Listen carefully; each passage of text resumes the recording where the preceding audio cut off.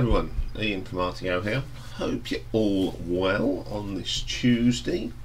Um, we have now reached the final part of the Ronnie James Dio story. Very short one because we've covered a little bit in the past, um, but I will put in uh, the next video on from Heaven and Hell, which was his last project, so you, you don't miss out. Everything sort of works together now. So we're going to look at the band Dio. Great band. Um, lucky enough to see them once. Um, I think it was on the Magica tour because he supported Alice Cooper. So that was a good show. Dio and Alice Cooper. So Dio were formed around about 1982 uh, led by vocalist Ronnie, who left Black Sabbath, and he took Vinny Appice with him, and he recruited a young guitarist from Ireland called Vivian Campbell, and his old bandmate from Rainbow, Jimmy Bain. They've had various lineup changes over the years.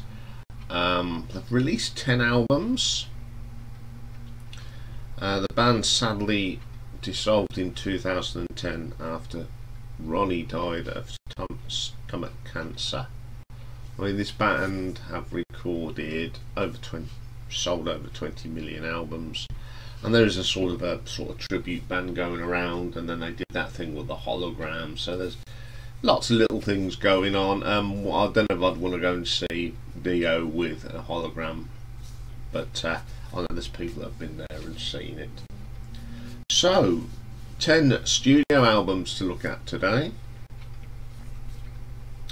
So, we'll, we'll take a start. So, coming in at number 10, we have the seventh album, released in 1996, Angry Machines.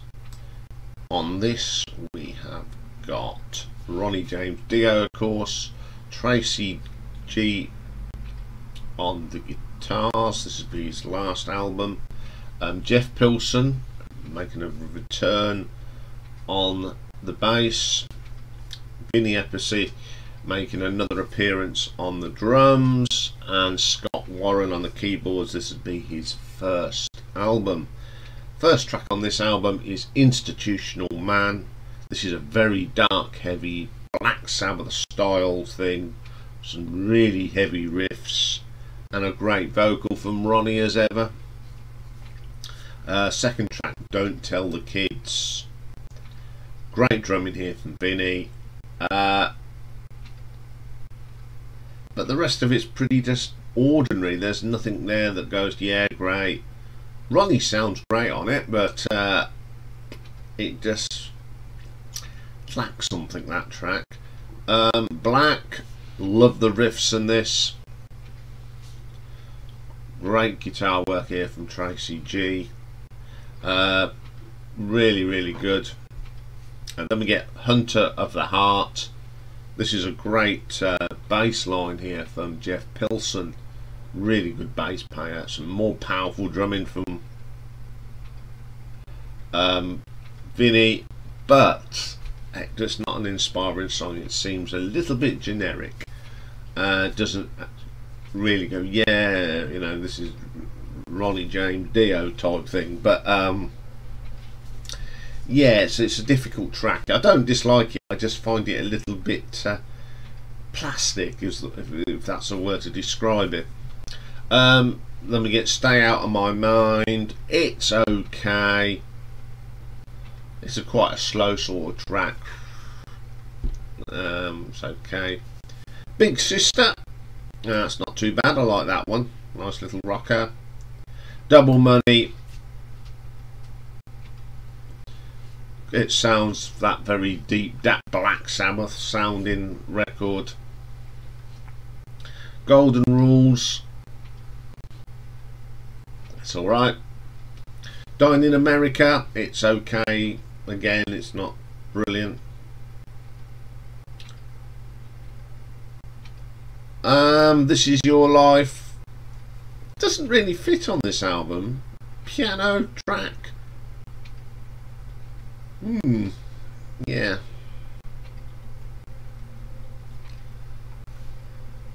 Okay, weird way to end the album. It's not a bad album. It's an album I don't play very often. I just didn't connect with this one when it came out. So I'm going to give this an RTO ranking of 7.5. Okay then, coming in at number 9, we've got the 10th and the final album from Dio, released in 2004. It, the album marks the second return of guitarist Craig Goldy. So on here we've got Ronnie James Dio, um, Craig Goldy on the guitar and keyboards, Jeff Pilson on the bass, Simon Wright on the drums, and Scott Warren on the keyboards. One more for the road. Great track, races away, great heavy metal track. Love that track. Good stuff. Master of the Moon. Some great drumming here from Simon Wright. Um, Craig Goldy's guitars are on this. Really good, strong track. Um, at the end of the world, again, then great riffs from Craig. Jeff's bass line is brilliant. Ronnie's vocal is pretty awesome as well. Shivers, my favourite track on this one. Uh, it's such got a proper heavy metal rock track and Ronnie kills the lyrics absolutely brilliant song uh, the man who would be king another quite mini epic uh, Ronnie is on fire um, the eyes it's an okay it's that melodic sound but Ronnie, Ronnie sounds great living the lie it's okay. It's not one of my favourite tracks on this album. Um, I am typical sort of Dio sort of riffs, great guitar work from Craig, excellent track. And Death by Love. Ah, this really goes back to the heyday of Dio in them early years. It really is good track, excellent track. And the last track, In Dreams, Got some nice strong riffs again from Craig. Sounds absolutely brilliant. I mean, obviously at the time we didn't know this would be Ronnie's last album with Dio. Um, but it's a good way to end. There's some solid tracks on this one. And I think Ronnie sang really well on this. He gave it his all, as he usually does. So I'm going to give this an RTO ranking of 8 out of 10. Okay then, coming in at number 8. This might surprise a few people, but it's the third album from 1985, Sacred Heart. This was the last album, of course, that Vivian Campbell appeared on. So we've got Ronnie James Dio, Vinnie Appice, Jimmy Bain, Vivian Campbell, and Claude Schnell on the keyboards. This opens up with King of Rock and Roll. Love this track. Uh, just a brilliant track. Great guitar work here from Viv. Brilliant stuff that one is. Then we get my favourite track, Sacred Heart. I'll just love this track. It's got that real classic um, sounding um, on it. Brilliant track. Uh, Another Lie. Now this one, it's so 1980s heavy metal and I didn't like the sound on that at all. It just again, it's the age of MTV, who sort of pioneered music, but it also ruined certain genres. They wanted all this radio-friendly rock music, and, and honestly, that another lie fits into that. Then we get rock and roll children, Okay, very radio friendly, but it's a good track. I like that. Hungry for Heaven. Yeah, it's one of the tracks I really don't like. Um, it's just too poppy, commercial MTV sort of dribble, and I don't. It just didn't suit I didn't like that track. I just found it a little bit wishy-washy for for Ronnie James Dio. Um, like the beat of a heart. Love this track. Really good riffs. Some great work from Vivian on that one. Just another day. It's got a little bit of um, Neon Knights feel to it. It's pretty good. Fallen Angels. It's got some great guitar work from Vivian on it. It's not too bad. Shoot Shoot. 80, 80s heavy metal. It's not too bad. Okay, this is a solid out. It is a good, solid album. Forget the MTV hits on this. The rest is proper Dio. Um, there are about three or four tracks on here that uh, rock. The rest are just commercial rock. But I've sort of got a bit of a thing for this album. So I'm still going to give it an RTO ranking of 8.2. Okay then, coming at number 7, we got the fifth album now, released in 1990. Lock Up Your Wolves. And this is a completely different lineup from the previous album. The only person left in the band is Ronnie himself. So on guitars he had Rowan Robertson, it was his only album on guitars. Jens Johansson on keyboards, his only album. Teddy Cook on bass, his only album. But this was Simon Wright's first album on the drums. Wild One. Great opening track. Robertson's guitar work is pretty good on this. I like it. Um, Born, Born on the Sun. Love the bass line on here. Very heavy metal. Great vocals from Ronnie on this one. Excellent track. Hey Angel, another heavy track here. Some great drumming from Simon Wright and Ronnie is on the button. Between Two Hearts. Again, very Black Sabbath sounding of the Ronnie days with Black Sabbath and really dark evil riffs. Pretty good night music, classic sort of song, great solid rock track. Let me get the title track, Lock Up the Wolves, my favourite on here. It's sort of a Great little evil rock, Black Sabbath style again. It's just a great track. Evil on Queen Street. Slow, heavy riffs from this. Ronnie is on the money again. Good track. Uh, Walk on Water. Just one of those fast and furious Dio tracks.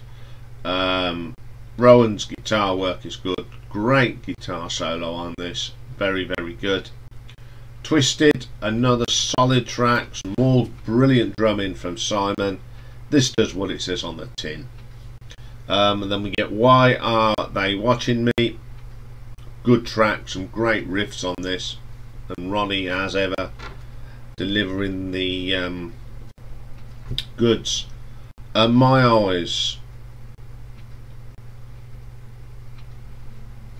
Mm, it's a little bit, probably the weaker track on it.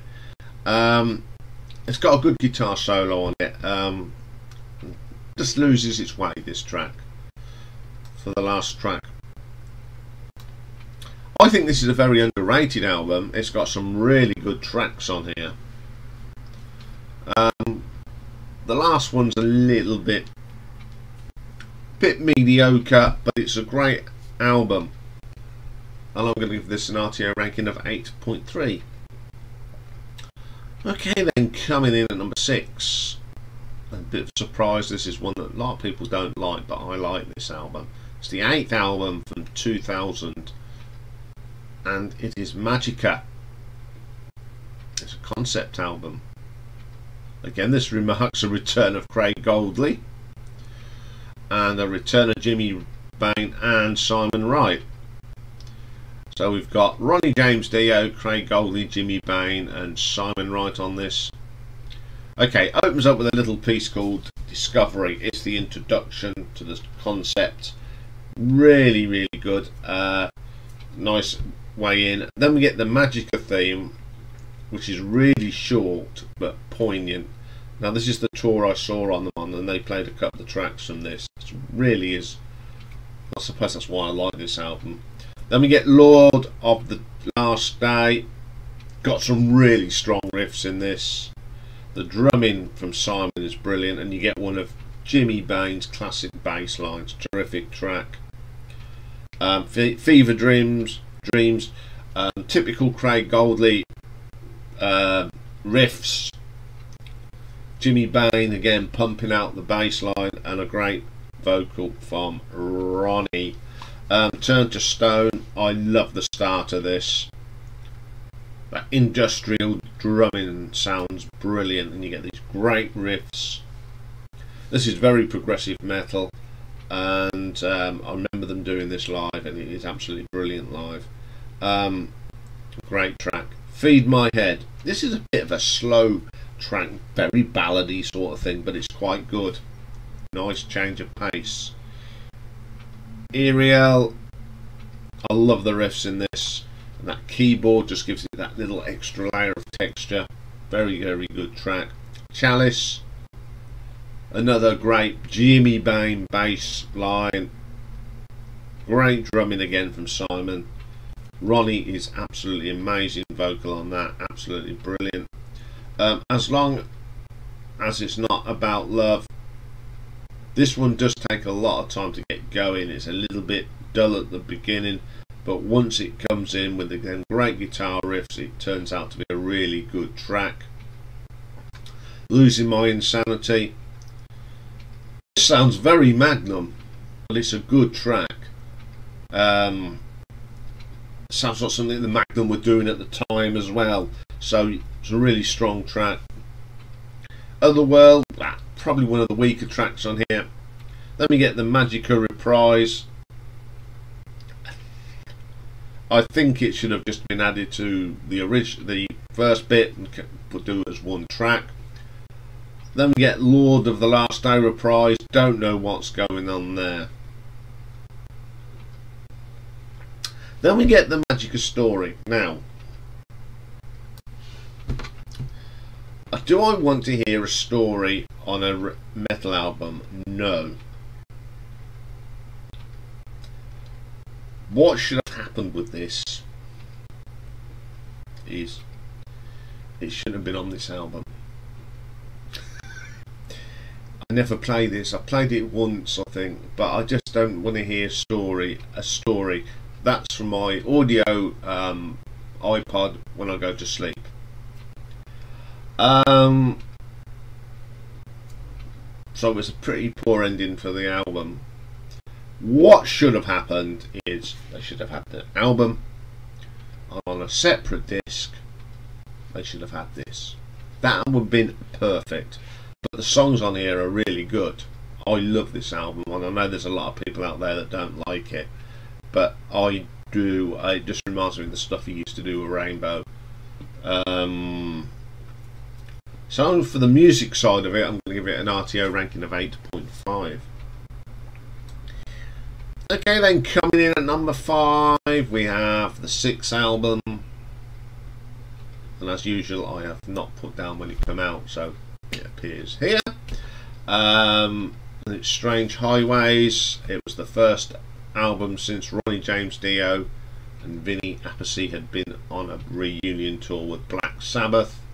So this is Ronnie James Dio. This was Tracy G's first album, also Jeff Pilson's first album and Vinny Appice on the drums. First track on here is Jesus, Mary and the Holy Ghost. Now this track I think, I wonder if this was a track that didn't get on the Black Sabbath album or a track that he was writing for another Black Sabbath album because it's so um, Black Sabbath style. It really is good. I like that track. Firehead Love this track. Great guitar work. Tracy G is a pretty good guitarist, and I love that change of tempo halfway through this solid track. Uh, Strange Highways. Love this track again. Was this for Black Sabbath or left over from the Dehumanizer album? Solid track. Hollywood Black. Now this is again heavy driving track. That great um, sort of heavy metal riff that always sits always says this is heavy metal. It's one of them riffs that defines the word heavy metal. Um, Evilution, great vocal from Ronnie on this one. My favourite track on the album, and this is one of his best vocal um, performance on this album. Pain, another heavy track with some great drumming from Vinny, vintage Vinny Appice drumming. Excellent track. One Foot in the Grave, another track, heavy riffs.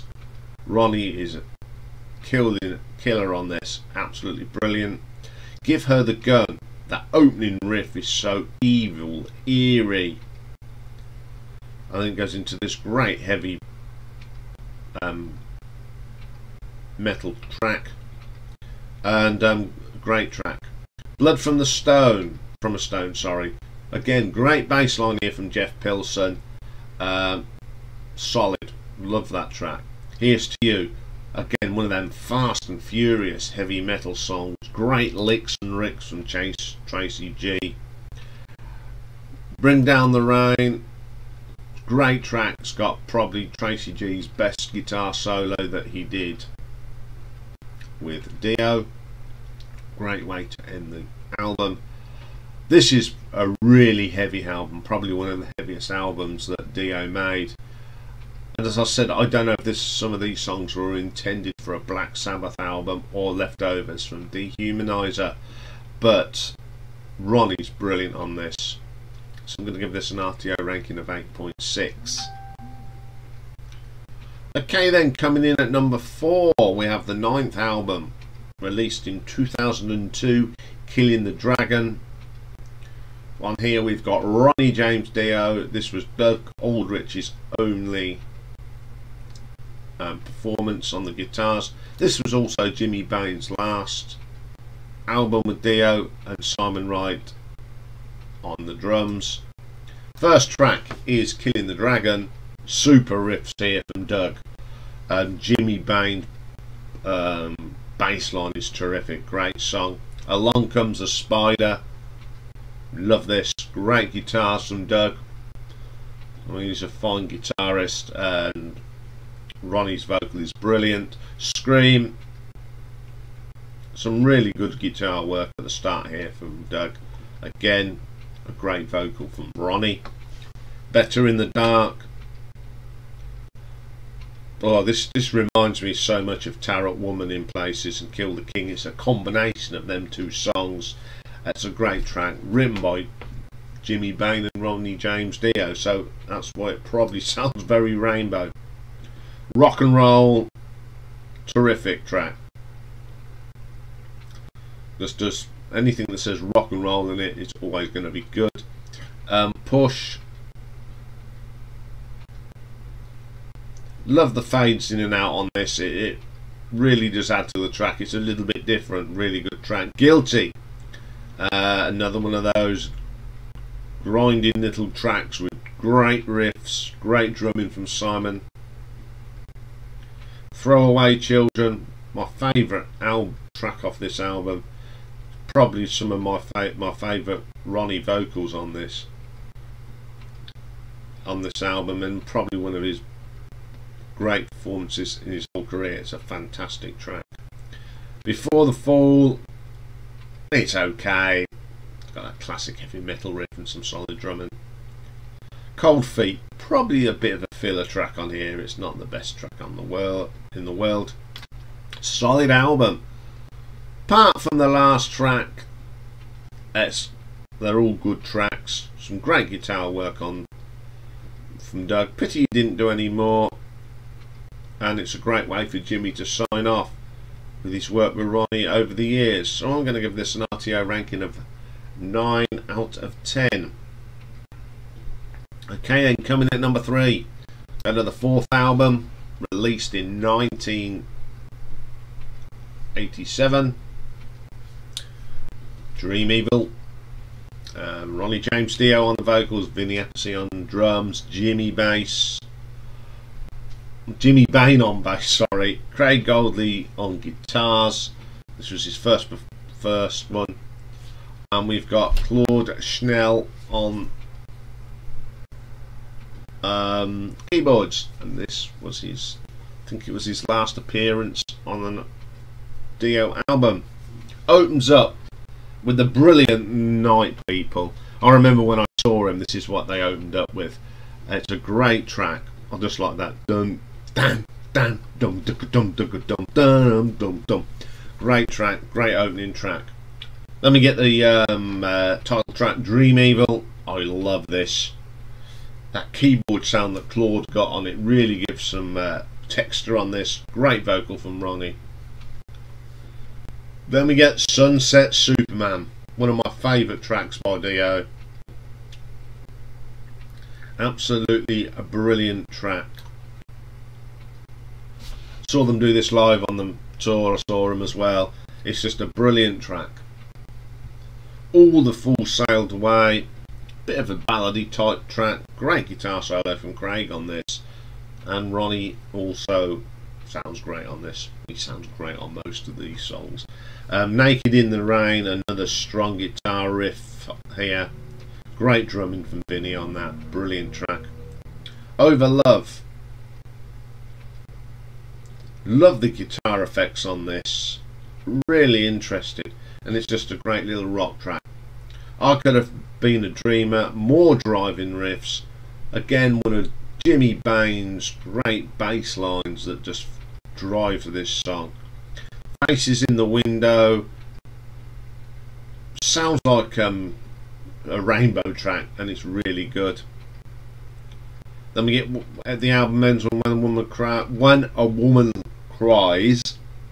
It's a good track. It's got some good keyboards from from Claude. Nice way to end the album. This is a great album. Uh, not a bad track on this one at all. Uh, considering it was done in 1987, there's none of that overproduced nonsense. It's just a good, solid metal album from the time. So I'm going to give this an RTO ranking of 9.5.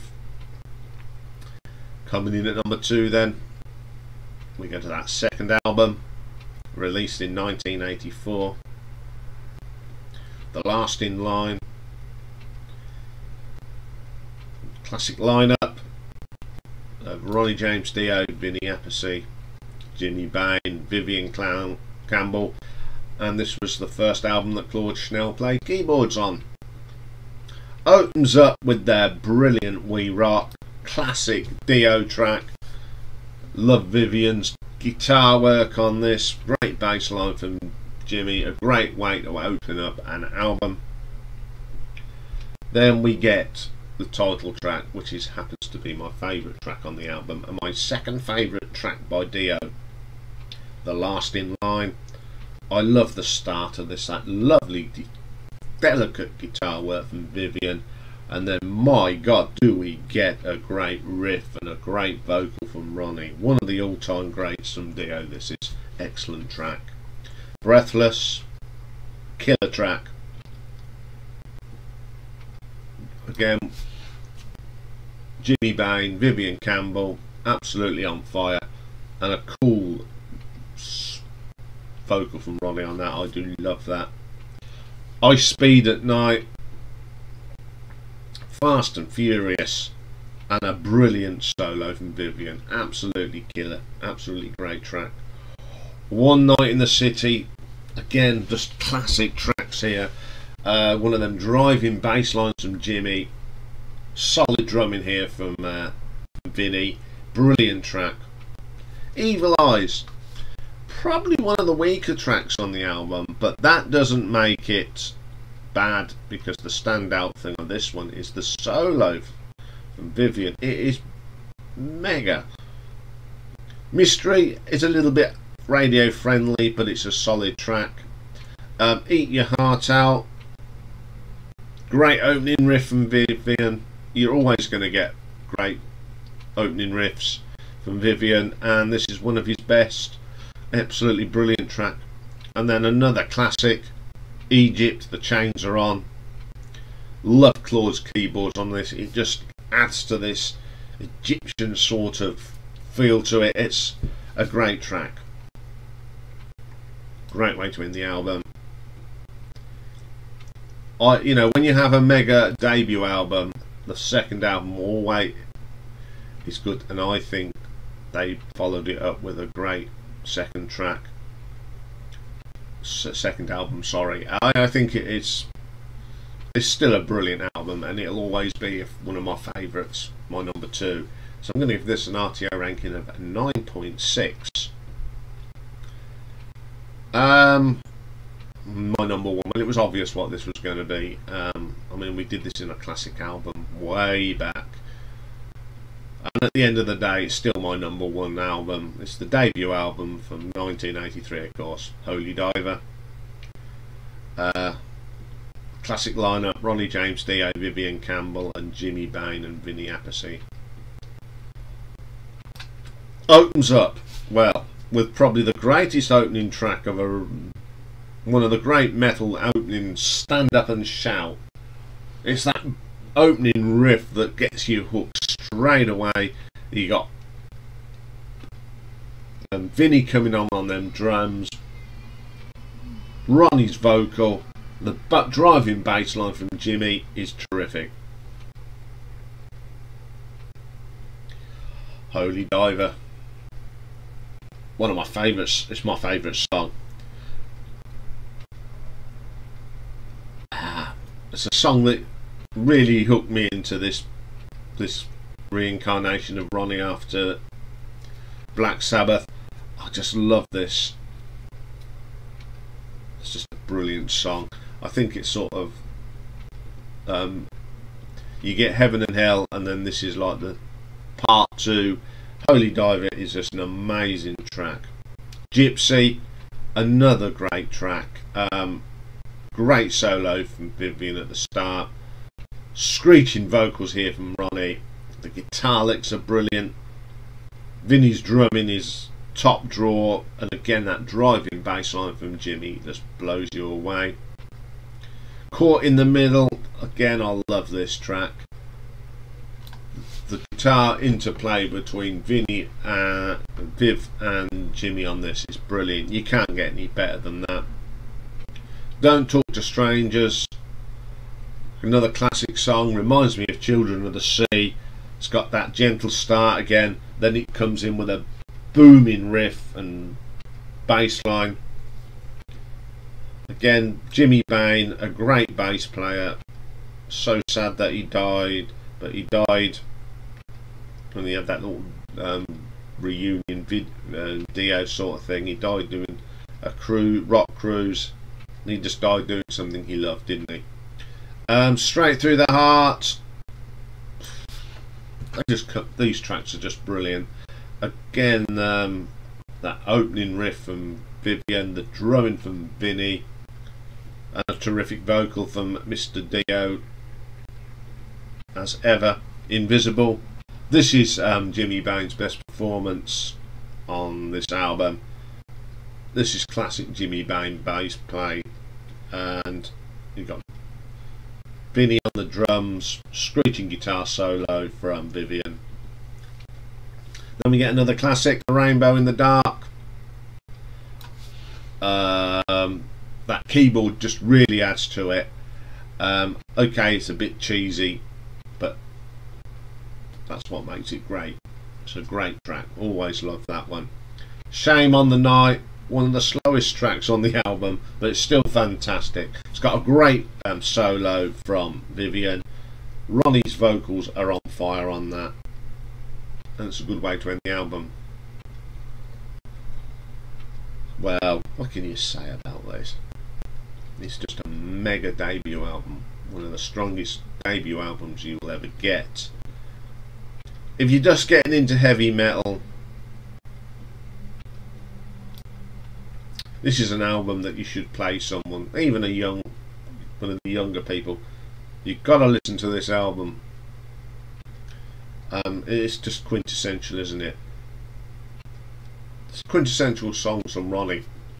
Stargazer, Heaven and Hell, Holy Diver. And you could put the last in line in there as well. Um, said this before, sadly missed. You know, luckily to see him. I mean, whatever band he was in, he gave it all.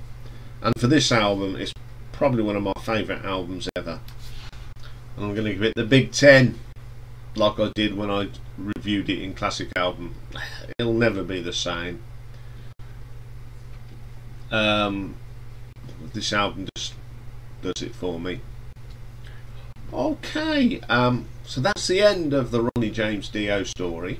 Um, next week we start on another artist and we are going to do Sammy Hagar.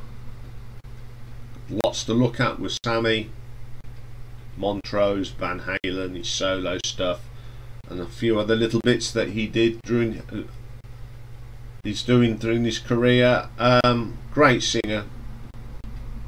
A lot of controversy when he was with Van Halen and all that, and there's all that everything going on with that. Um, but I like Sammy Hagar, always have.